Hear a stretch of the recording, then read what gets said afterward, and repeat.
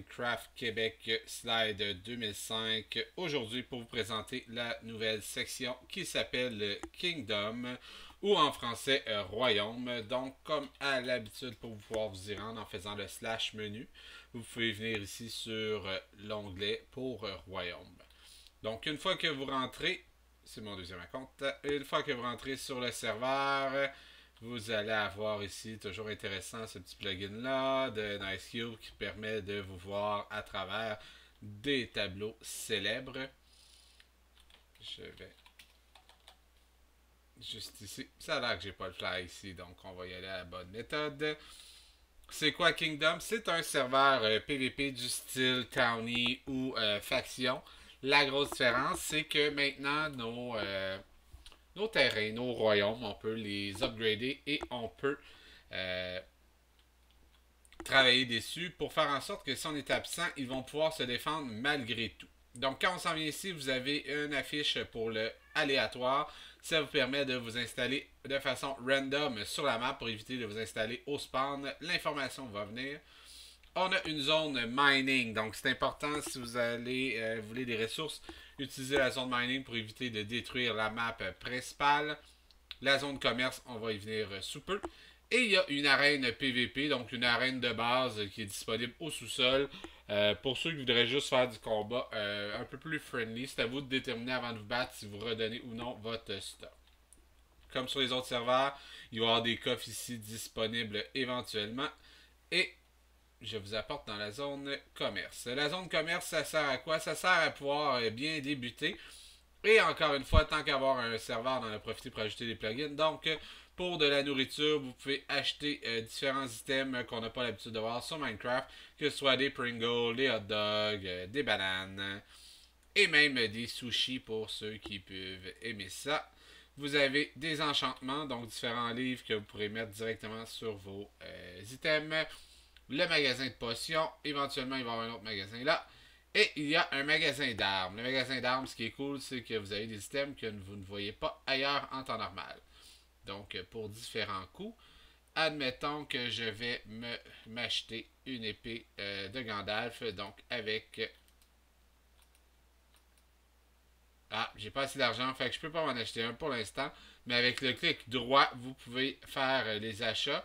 Et ici, si vous en auriez, vous pourriez aussi faire de la vente de ces items-là. Donc, euh, si jamais il y a du craft euh, disponible, ben, vous pourrez le faire. Donc, si je fais un slash spawn, je reviens pour pouvoir aller me chercher un terrain aléatoire. Chose qui peut être intéressante à savoir aussi, c'est que dans le moment, le token shop est disponible. Donc, si je fais, puis je vais le faire avant de me rendre dans le wild, étant donné que sur ce serveur, on peut se faire tuer. Si je fais slash token shop, je peux venir euh, m'équiper avec euh, des haches, des épées. Donc, je me suis pris une épée juste pour être sûr.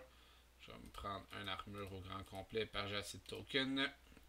Et je pourrais même venir chercher d'autres items ici qui sont euh, sur le serveur dans le moment. Donc, je pourrais même utiliser les véhicules pour me promener sur la map.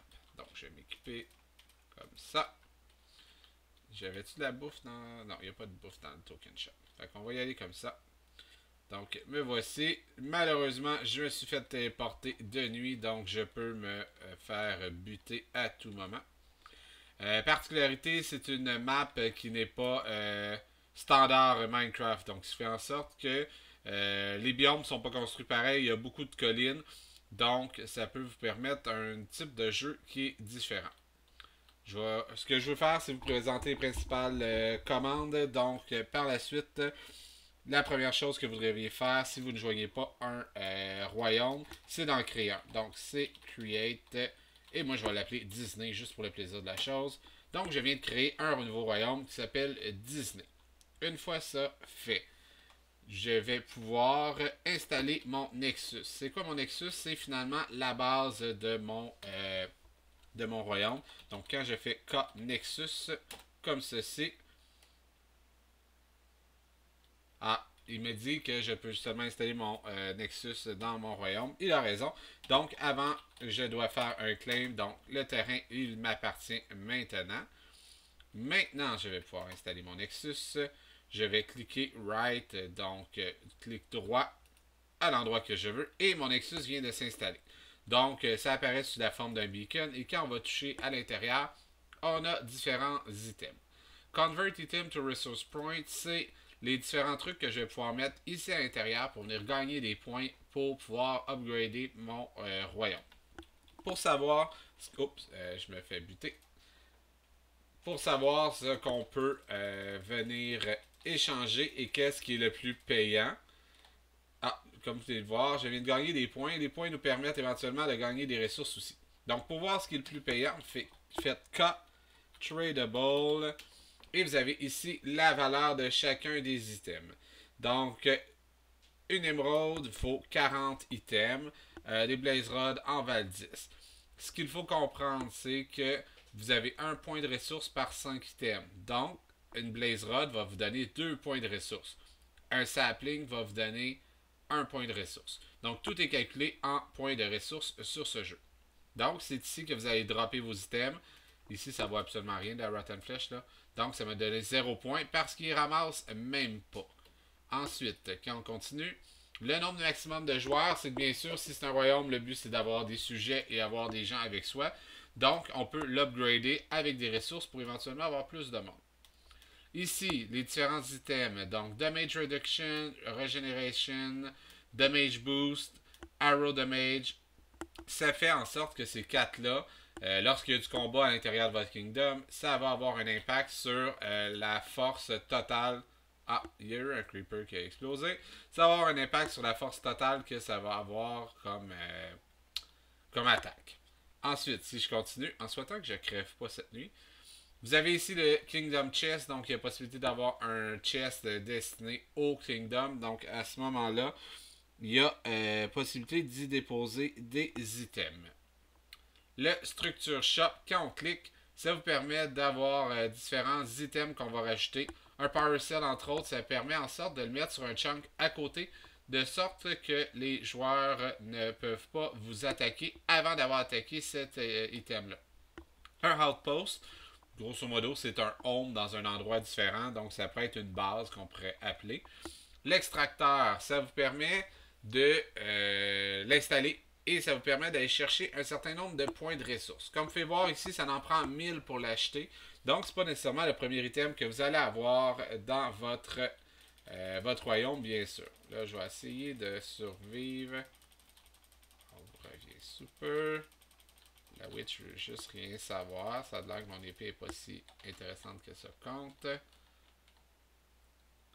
Ce serait assez ironique que je crève dans le premier vidéo. Donc, ceci comme ça. On va revenir à notre petite vidéo. Donc, euh, j'étais en train de dire structure shop, oui, et... Euh,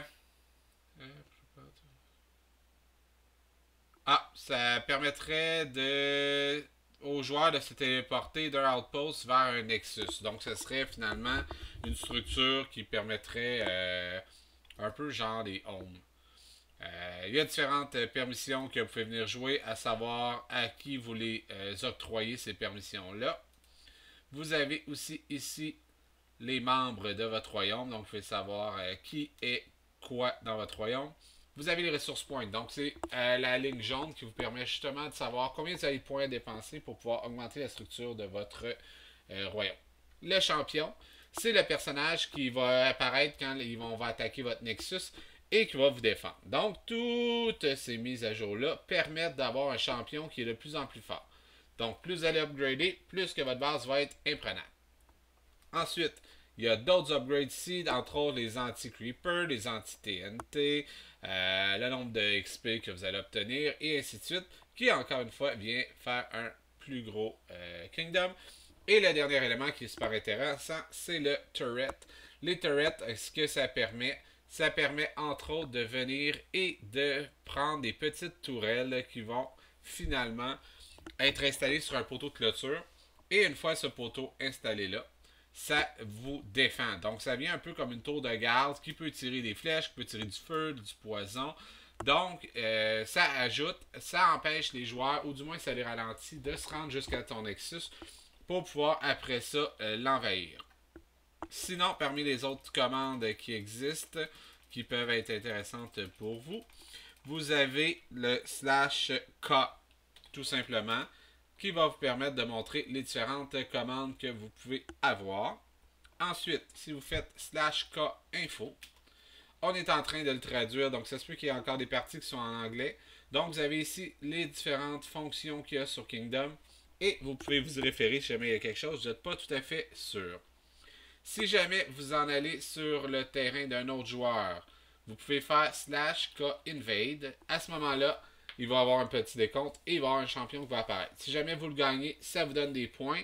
Et à partir de ce moment-là, le terrain vous appartient. Ce qui veut dire que s'il y avait des coffres dessus, vous pouvez les ouvrir, vous pouvez vous servir. C'est à vous. Ensuite, si vous avez des nouveaux joueurs qui s'ajoutent dans votre royaume et que vous voulez leur donner l'accès au Nexus, vous devez venir faire la commande K-Mod. Donc, vous rentrez les joueurs comme modérateurs de votre royaume et ils pourront interagir avec le Nexus. Si vous ne le faites pas, c'est bien de valeur, mais la personne va rester euh, dans le néant et elle ne pourra pas rien faire. Comme des voir, je viens de passer au level 2, fait que j'ai obtenu des diamants pour euh, avoir tué des mobs. Sinon, ce qui est important, K7 Home, ça permet de faire un home pour votre euh, royaume. À ce moment-là, quand vous allez faire K Home, ça va vous téléporter directement sur ce dernier. Donc, c'était Slide 2005 pour vous présenter un peu l'intro de Royaume. Je vais euh, avancer un petit peu la base et par la suite, je vous ferai une deuxième vidéo pour vous montrer l'avancement.